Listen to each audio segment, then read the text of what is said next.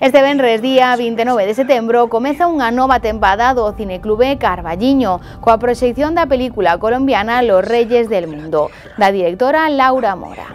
O filme foi o último gañador do Festival de San Sebastián onde obtivo a Concha de Ouro e o Premio Cinemaldia da crítica, así como a triunfadora dos premios da Academia Mexicana, onde foi considerada a mellor película iberoamericana. Unha road movie viva e intensa, dura e fermosa vez que nos conta a historia de cinco rapaces de Medellín que inician unha viaxe cara a nada onde pasa de todo. Os pases serán, como sempre, no Auditorio Manuel María do Carballiño, ás 8 da tarde e ás 10 e media da noite. Neste caso, os dous en Castelán.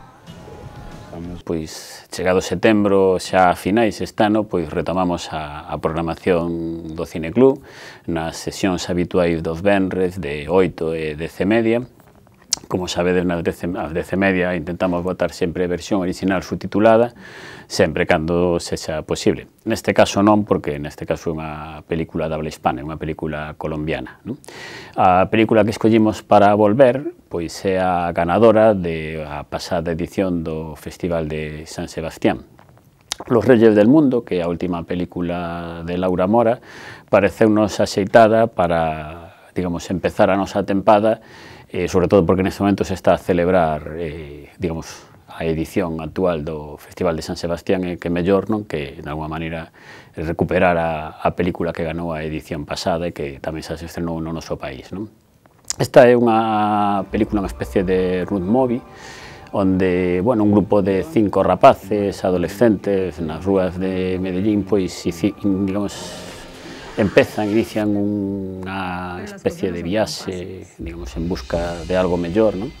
E, eh, bueno, unha película dura ás veces, pero ao mesmo tempo tamén unha película un pouco cargada de esperanza, non? Unha película moi vital, e moi viva, non? E, e creemos que, bueno, que é unha película que, que sí que merece moito a pena ver, non? Non só porque este avalada por diferentes premios, non só de a Concha de do San Sebastián, sino porque tamén, bueno, pois, eh, de alguna forma, eh, digamos, Laura Mora é unha directora que xa leva unhos anos, ainda que é unha directora novel, é unha directora que nos leva, digamos, ofrecendo durante unhos anos unhas películas que, digamos, eh, sempre causan certo impacto e que teñen moi boa acollida tanto de, de público como, como de crítica. Los.